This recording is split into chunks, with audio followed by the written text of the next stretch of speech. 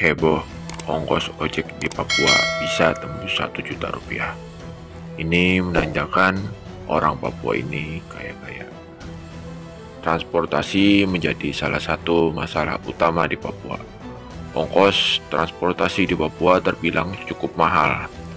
Ada yang bisa merogoh kocek dalam-dalam untuk bisa naik ojek di Papua misalnya.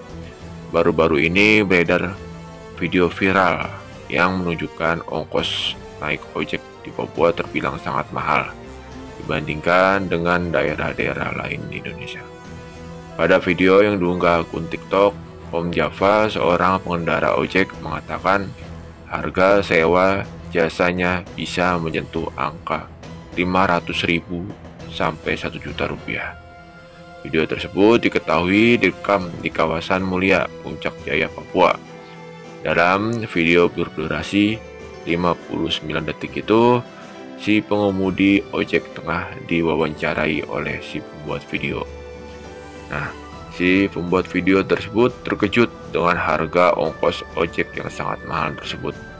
Namun, hal itu terbilang cukup wajar jika melihat kondisi infrastruktur jalan serta harga bahan bakar minyak di sana. Sekarang enak teman-teman, jalan-jalan sudah diaspal. Dulu sebelum diaspal itu harganya bisa mencapai 700 ribu rupiah.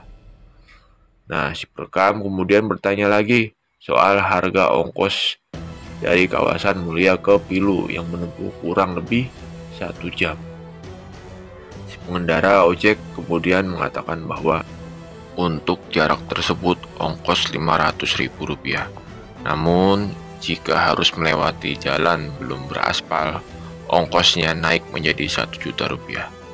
Tentu saja video tersebut pun banyak dikomentari warganet. Sejumlah warganet bahkan ada yang menceritakan bahwa ia juga sempat naik ojek di Papua dan mematok tarif mencapai 2 juta rupiah. Saya pernah ojek dari distrik Beoga ke distrik Wangbe perjalanan kurang lebih 2 jam ongkos 2 juta. Ini menandakan kalau di Papua orangnya kaya-kaya. Sudah saya banggakan orang Papua kaya-kaya. Tapi di sini kenapa bisa begitu? Karena di sini lagi rawan di Papua ya kan.